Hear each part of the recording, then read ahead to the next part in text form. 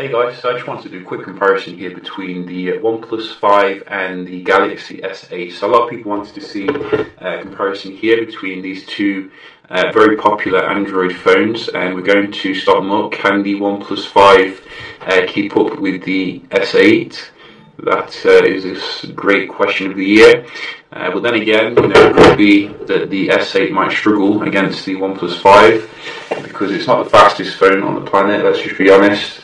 Uh, but in terms of the engineering, it is marvelous. Uh, in terms of display, etc. Uh, you can see the S8 a little bit faster to boot up here.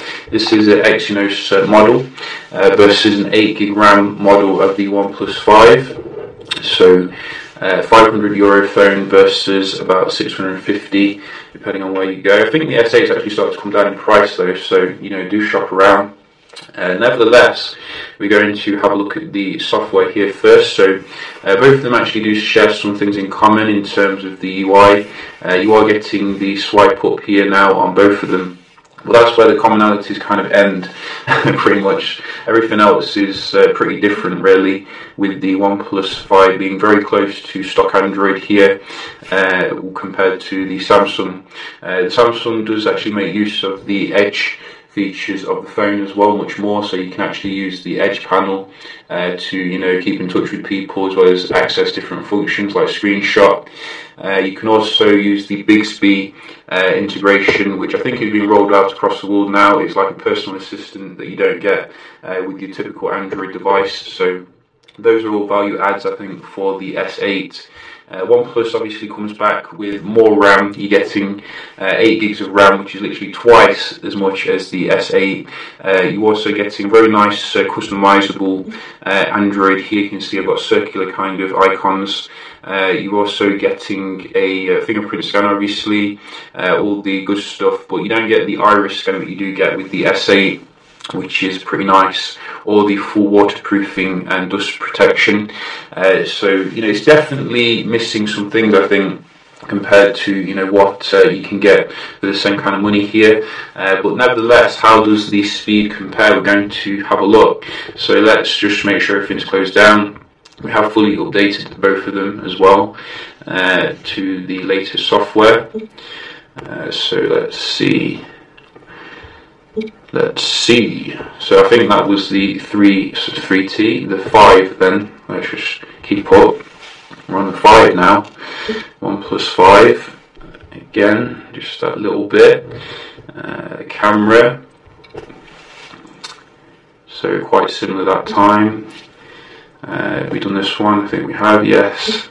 Uh, let's uh, go to some third party ones. Uh, where is good old Facebook? We don't have that here. Uh, what else do we have? Ooh, we have some interesting ones.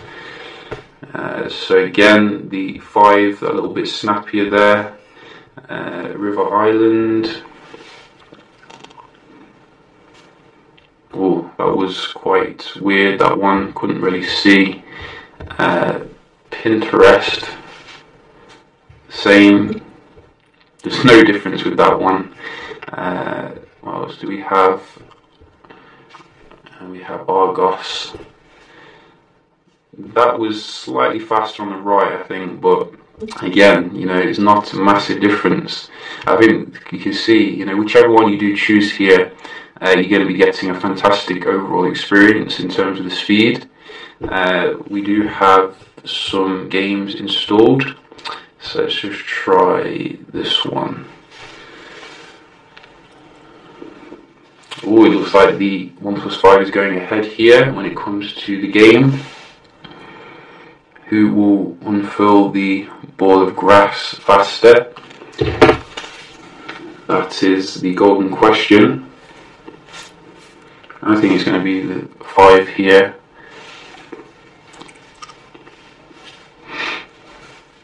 Think they both support the DDR. Yeah, I think the 5 actually worked faster there. It worked faster to load the game, which is good. And the S8 was left standing. Let's just try another one. Uh, SimCity. So as I was going to say, I think the both support the fastest RAM available, DDR4X or something. So You're getting good uh, underlying hardware here, whichever one you go for. And I'd say even though the screen is a little bit more, uh, you know, you get the 2K ability on the S8, it doesn't really seem that different. You know, I think the screen on the uh, OnePlus 5 looks good enough overall. You know, it doesn't look uh, inferior or anything because it's less resolution. Might actually help as well with the battery. Uh, those two games I couldn't actually see too much of a difference here. Let's try GTA. I think the S8 is doing quite well actually, much better than I thought it would. I thought it would be dominated, but clearly not. Even loading GTA here much faster. Now, was it the S8 which struggled to load GTA when I first got it? They must have done something to improve that. Uh, so, do we have anything else? I think we have Solitaire, classic Solitaire. Wow, no difference. Uh, so you can see here, you know, it's a bit back and forth really. Uh, I think the OnePlus 5 did quite well on most of them, but I think your average user isn't going to really notice too much difference here. Uh, we're going to see a speed test and then round the video off quite nicely. Uh, so let's just see the S8's performance. Should Move it a little bit so it's not blocking anything.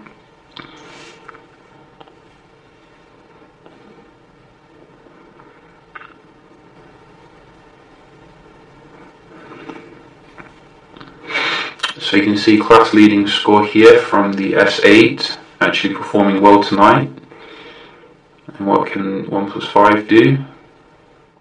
Oh, that was close, but no cigar. The S8 still kept the crown here, only just. The ping was nice though, and the upload is even nicer. Uh, so, you know, depending on what you want there, personally, if someone likes to upload like gigabytes of data a week, I'd probably go for the upload, but very nice performance from both of them, nevertheless. Uh, we can just have a look at the web page as well. Some people do like to see that. So let's just go to Daily Mail. I don't know why I go to Daily Mail. Let's go to BBC Today. Go. So that looked snappier on the left.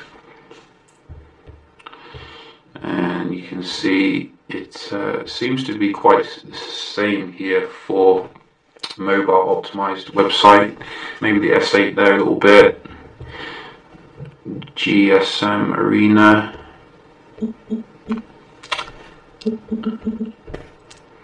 You see, this is weird why sometimes I've noticed it doesn't show any results when you're typing it in. Seems to be a recent Google change. Uh, we can see very similar here in terms of the load of the speed of the browser, uh, which you know, props to OnePlus for optimizing Chrome to that extent. Uh, we can just as well check the RAM management. Don't think there's going to be too much difference here, except for the animation.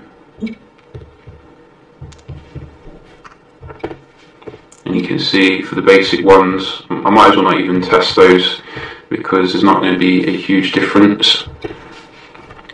Let's just try the games again.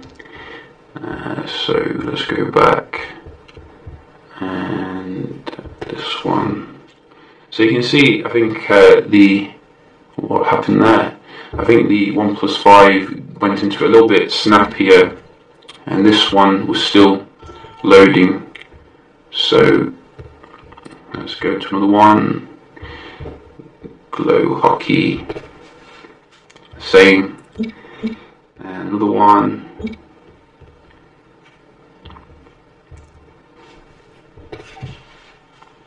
The same. And another one.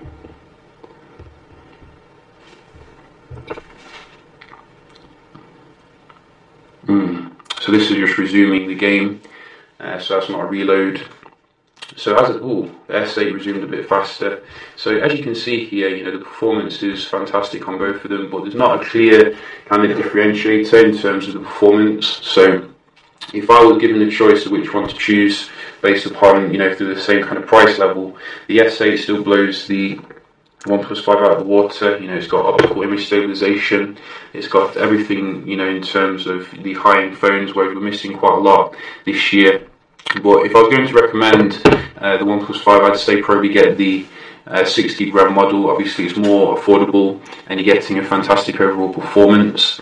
Uh, so, uh, yeah, just a quick little comparison here between these phones. I will do some other comparisons with the OnePlus 5, you know, checking out some other phones we've got uh, for the same kind of price. You can get the P10, you can get the LG G6. Uh, there's lots of choice at that particular price level. So, yeah, hope you enjoyed the video, found it helpful, and I'll see you in the next one.